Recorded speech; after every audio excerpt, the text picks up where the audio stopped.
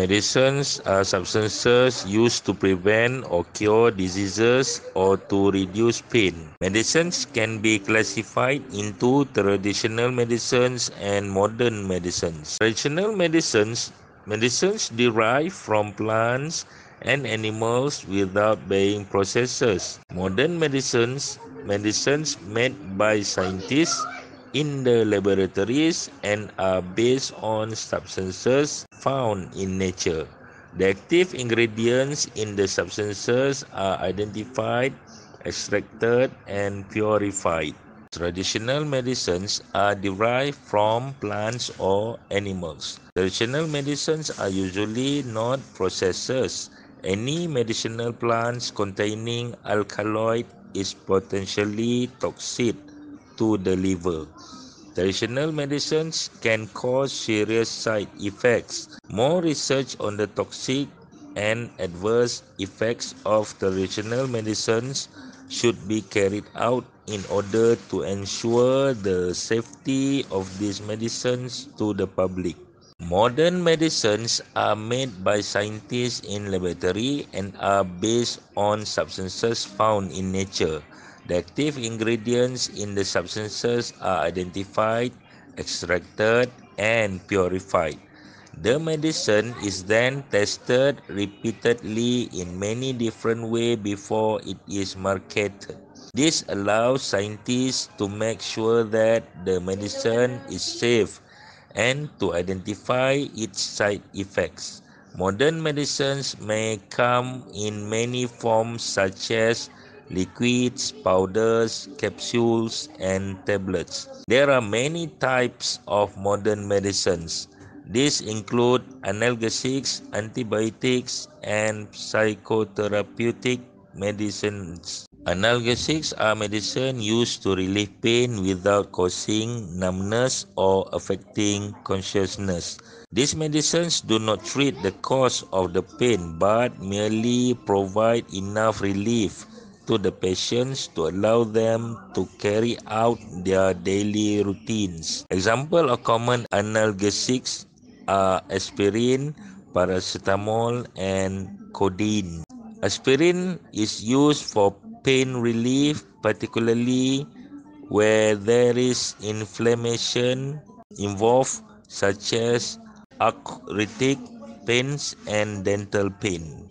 Paracetamol can be taken to relieve mild to moderate pain such as headaches, muscles and joint pain, backaches and period pains. Codeine is an analgesic used to headache tablets and in cold medicines. Both paracetamol and aspirin are analgesic.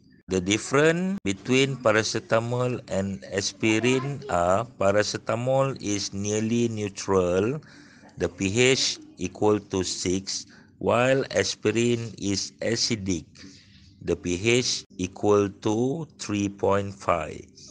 Why aspirin not prescribed to a patient who has gastric problems? The gastric patients have excess hydrochloric acid in their stomach. Aspirin is acidic in nature.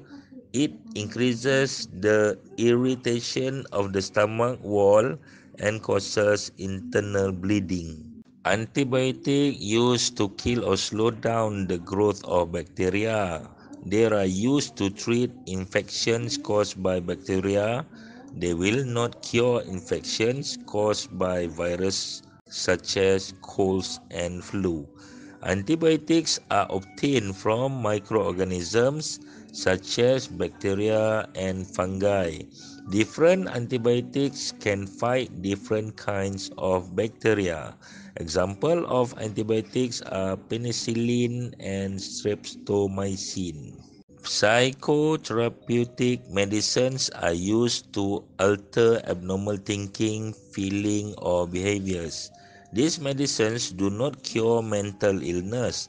However, they can reduce many of the symptoms of mental illnesses and help a person to get on with life.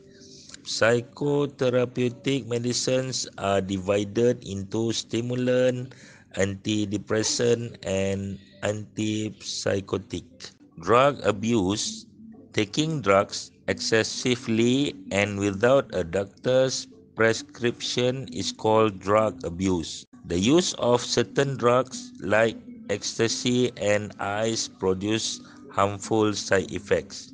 Insulin is used by the patient with diabetes mellitus to control the glucose level in blood. Why insulin is injected and not taken orally? Because the insulin is a type of protein peptide it will be digested in the stomach if taken orally. Penicillin is used to treat diseases such as gonorrhea, syphilis, pneumonia, and anthrax. Why is penicillin becoming less effective today? Some bacteria have become resistant to penicillin either by mutation or developing more resistant strains.